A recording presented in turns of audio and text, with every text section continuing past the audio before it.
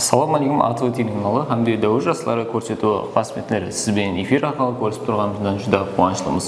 Көрсетуіміздің бүгінгі саны арқылы ауыл қожалық тарауында оқып жатырған студент жастарға жаратылып жатырған имканиятлармен танысуға әрекет етеміз. Ассалаумағалейкум көрсетуіміздің азиз ықыласпендлері әлбетте бүгін ауыл қожалығы тарауында жетістікке еріскен жастар һәм олардың шет елдерге шығу имканиятлары хақынан жақыннан бөлісеміз. Һәм сіздерге осы имканиятлардан тұрақты түрде пайдалануды ұсыныс етіп қаламыз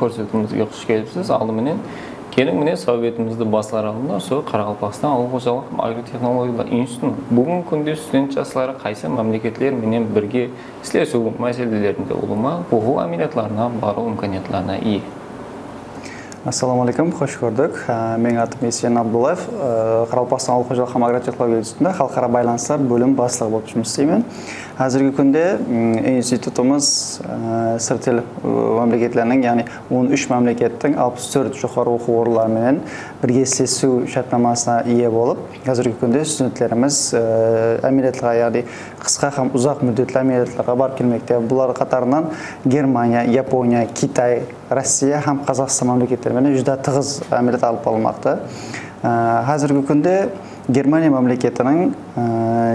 GDS компаниясы һәм лого халықаралық агенттігімен бірге жұмыс істейміз 2017 жылдан бері.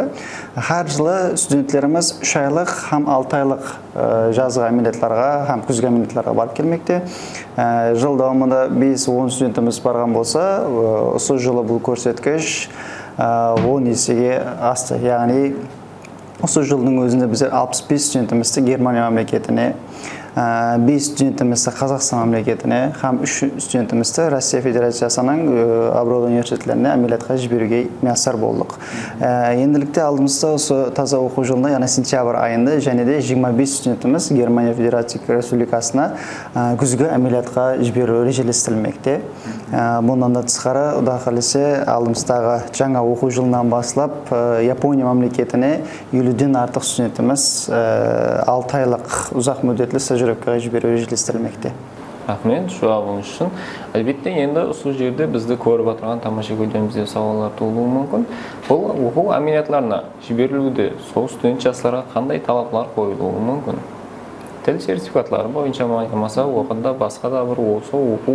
орны тарапынан қойылатын талаптар бар ма бүгінгі күнде тіл сертификат талап етілмейді егер германия мемлекетіне кететін болса неміс тілін немесе инглиз тілін кемінде а екі дәрежеде білу шарт себебі ол жаққа барғаннан кейін тіл жағынан қиналмауы ол жақта үйренетін затларын фермерлеріміз әмесе инглиз тілінде немесе неміс тілінде сөйлеп болады тіл сертификаты шарт емес ал ішкі талаптарымыз ол студенттің талапшаңлығы оқуға де болған қызығушаңлығына қарап сайлап алынады әр сессияда жауған бақаларына қарап та сайлап аламыз рахмет жауабыңыз үшін келің осы орында сізде өзіңізге тоқталып өтсеңіз һәм осы дәрежеге жетсемен дегенше қайсы мемлекеттерде болғансыз сол мемлекеттерде қандай тарауларда жетістікке еріскенсіз біз білеміз бұл қарақалпақстан һәм ауыл қожалығы агротехнологиялар институтында ауыл қожалығына масласқан сабақтар өтіледі енді сол хақында айтсаңыз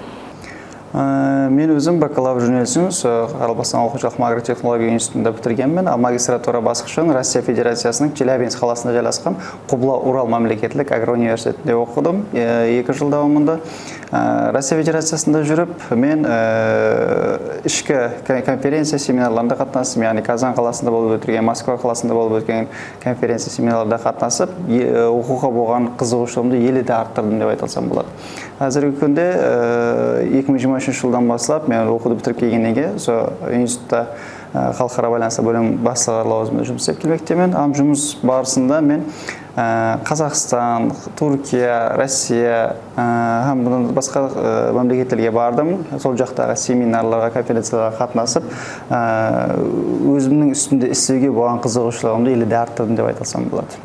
Бұл жерде басқа жоғары оқу орындарына қарағанда шет елге шығу студенттеріміздің сол шет ел тәжірибелерін асыру имканиятлары еледе үлкен деп естік кейін бұл жерде студенттеріміздің қызығушылығын қай дәрежеде шет елдерге жөнелтіре аламыз? Дұрыс айтасыз қазіргі уақытта ауыл қожалығына болған әтібар жүдә күшлі бағана айтып өткенімдей 13 мемлекет 64 университетпенен шартнамамыз бар. Қазіргі күнде бес студентіміз россия федерациясының магистр журналистінде оқып жатырыпты бізде де бітірген бітірушілеріміз һәм екі студентіміз японияның күшлі топмалыққа кірген чиба университетіне магистратура басқышына оқуға кірді һәм бір студентіміз италияның туша университеті ол да дүние жүзінің ең абыройлы топмалыққа кірген университеттерінің қатарына орын алған бағана айтып өткенімдей институтымызда ауыл қожалығында оқушы жастар үшін имканият жүдә көп жаңа айтып өткендей ауыл қожалық рауажланған мемлекеттердің бірі болған германияда әмелиятты өтеу японияда әмелият өтеу. Тек қана біз студенттерден талап ететін затымыз тіл білу тіл білу һәм өзінің қанегесін өзінің қанегесіне болған қызығушылығының жоғарылығы.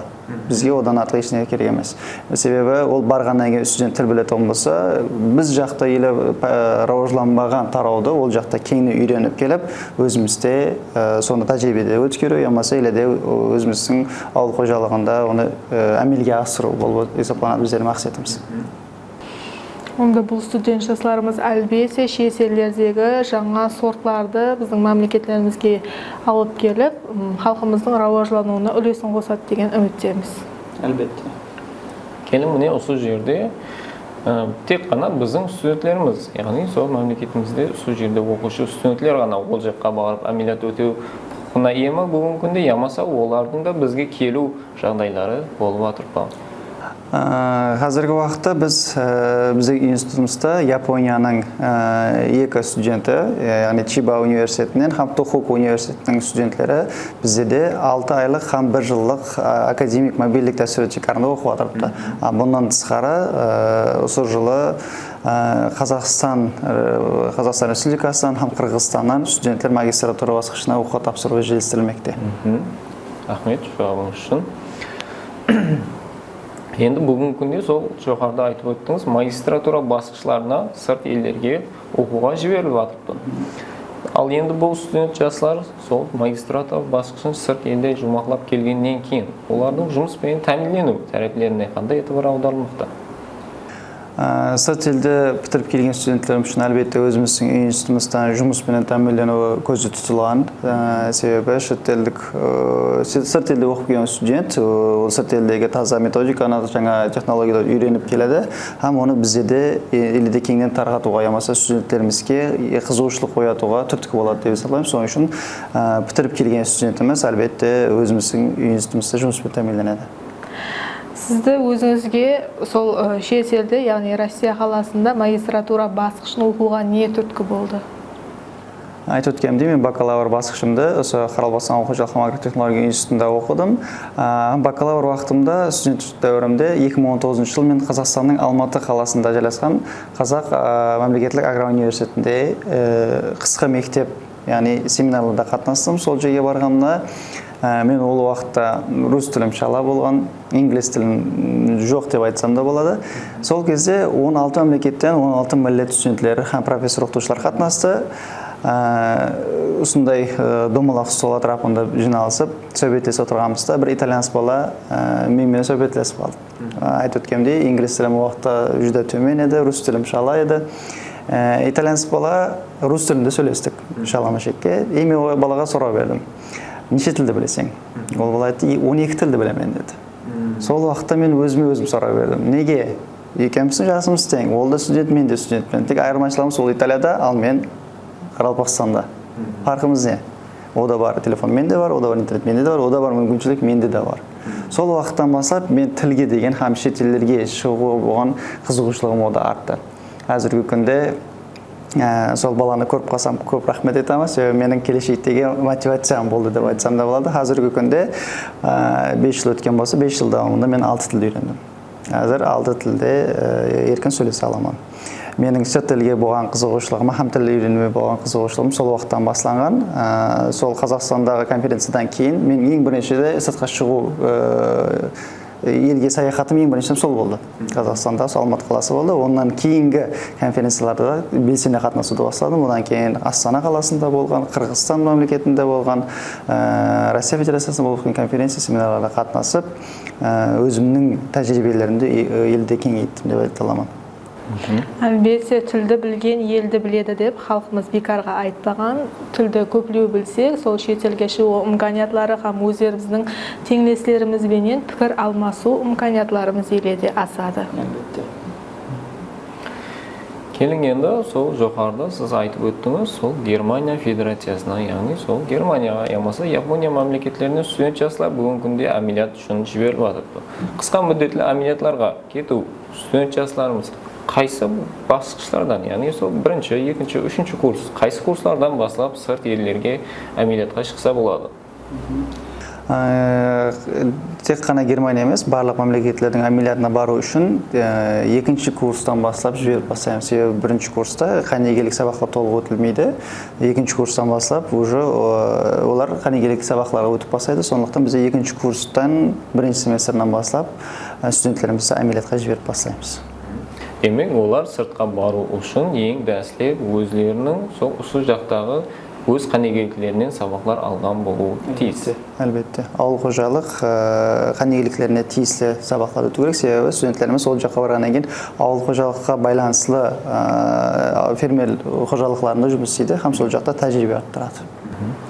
Енді келін осы жерде және бір көпшілікті қызықтыратын сұрау әлбетте сол оқу әмелиятларына барған студент жастар жұмыспенен ол жақта да қосымша тәмінленеді ал оларға төленетін айлық төлемдері бүгінгі күнде сыртқа шыққан адамның күн көрісі қиын болады ата аналар бізді көріп отырған сол баламыз сол жаққа барғаннан кейінгі жағдайы қандай болады деген машқалар тудыруы мүмкін соларға да кеңірек тоқтап өтсек әлбетте ә, жоғарыда айтып өткенімдей бізде де екі түрлі әмелият бар. Қысқа мүддетлі һәм ұзақ мүддетлі яғни үш айлық һәм алты айлық әмелият Ә, үш айлық әмелиятта ә, біздердің студентіміз work and travel яғни жұмыс һәм саяхат дәстүрі шекарында кетеді. Яғни студенттің жазғы демалысын мазмұнлы өткеру мақсатында.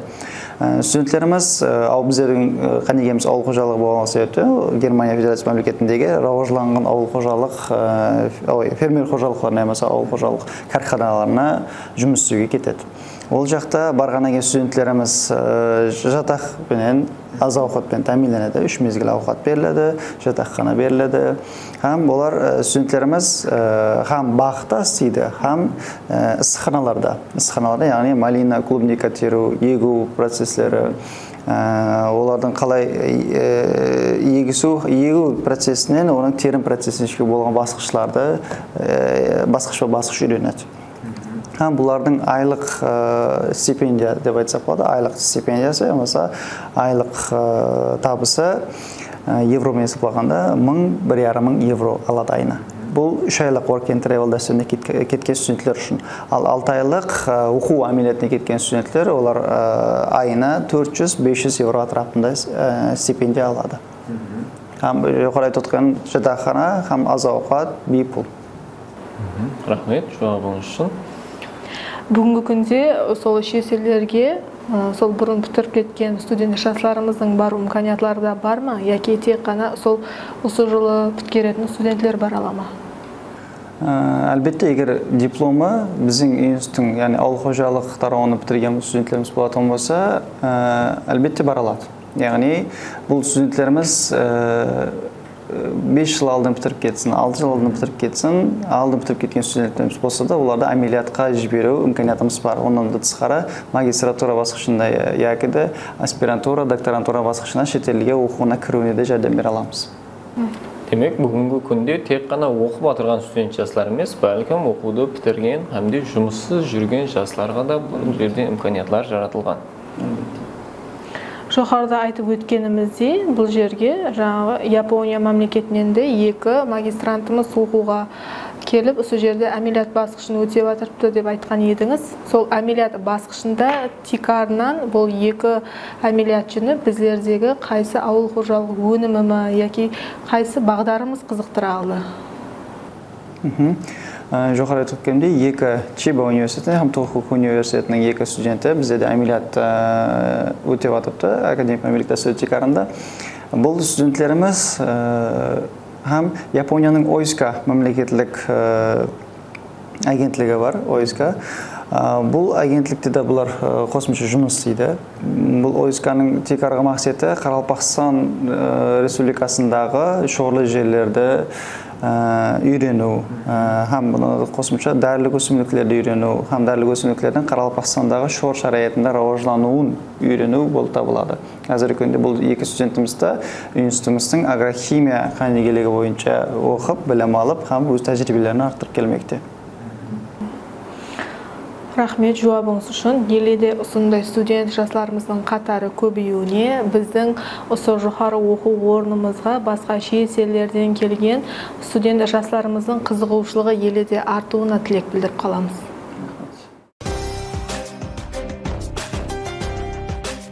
Неге жоғарыда күніңменен сол студент жастарға жаратылып жатқан имканиятларды ашықлап жатырмыз әлбетте бұл жерде оқып жатырған студент жасымыз яғни студентіміз сырт елге барып келгеннен кейін оның көлікпесі бір қанша кеңейеді сол қатарда оған сабақ беруші мұғалімнің де көлікпесі сол дәрежеде болуы керек деп ойлаймын мен өзім. Енді бұл жерде жұмыс істеп жатырған сол оқытушыларымыздың ол жаққа барып өз көлікпелерін асыру мәселелері бүгінгі күнде қандай жағдайда?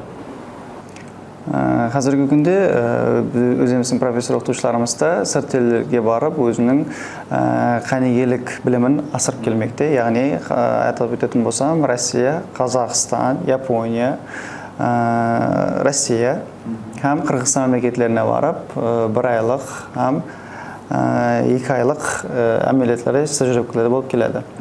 Атап айтатын болсақ әр жылы бізде де өзі көрсетілген норма бар.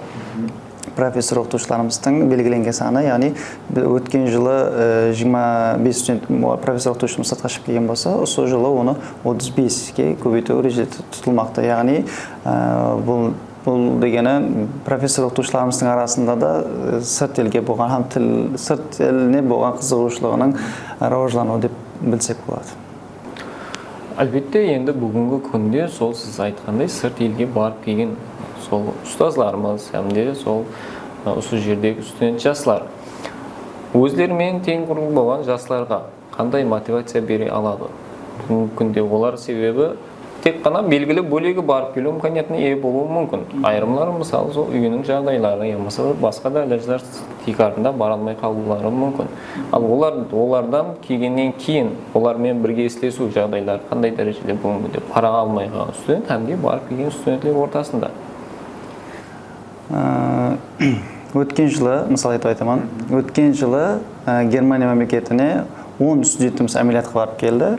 Ал бұл жылы сол көрсеткіш алты жарым есе яғни осы жылы 65 студентіміз әмелиятқа кетті. Бұл дегені студенттердің қызығушылығы елде артты дегені. Яғни өткен жылы барып келген студенттеріміз осы жылы кеткен студенттерімізге біздер әр барып келген студенттеріміздің соңында семинар тренинг өткереміз. Яғни бұл студенттеріміз ол жақта нелер көрді нелер істеді қандай жетістікке ерісті сол жақтарын өздері студенттерімізге мақтанып қызықтыра алады. Ал соны көрген біздердің жас студенттеріміз соған болған қызығушылығын елде арттырып Әттеке айрым студенттеріміз инглиз тілін білместен үш айдың ішінде инглиз тілін үйреніп германия мемлекетіне барып келмекте бұл дегені студенттің қызығушылығы жоғары деп есептесек болады жауап үшін рахмет еледі сондай еліміздің рауаждануына өзінің үлесін қоса алатын студент жастарды жетістіруде шаршамang деп қаламыз. Hamda bugungi ko'rsatuvimiz uchun o'zingizning qimmatli vaqtingizni ajratib kelganingiz uchun sizga да rahmat aytamiz keling endi shu yerda bizning ko'rsatuvimiz haqida o'zingizning fikrlaringiz hamda bizni kuzatib o'tirgan ixlosbetlarimizga fikr ham usunushlaringiz bo'lsa marhamat yo'llasangiz bo'ladi avvalambor o'sha ko'rsatuvga chaqirganingiz uchun sizlarga rahmat aytaman yoshlarga aytar tilagim hech qachon harakatdan to'xtamang til o'rganing hech qachon kech bo'ldi degan so'z aytilmasin hechdan ko'ra kech degan so'z bor til o'rgansangiz til bilgan el biladi deydi kelajak yoshlarni qo'lida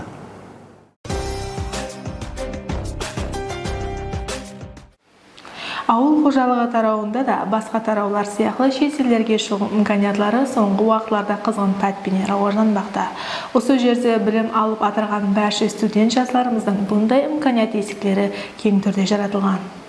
Мінекей көрсетуіміздің бүгінгі саны арқылы қарақалпақстан ауыл қожалығы hamda агротехнологиялар институтында оқып жатырған теңізлеріңізге бүгінгі күнде сырт елдермен байланысу үшін қандай имканият есіктері ашық екендігі хақында сізге жарытып беруге әрекет еттік. Бұның үшін әлбетте текстерден тіл білу имканиятлары талап етіледі. Сіздер де әзиз жастарымыз осы студент жастар қатарында болып бұл имканиятлардан үнемді пайдалану. Баршаңызге диққатларыңыз үшін рахмет.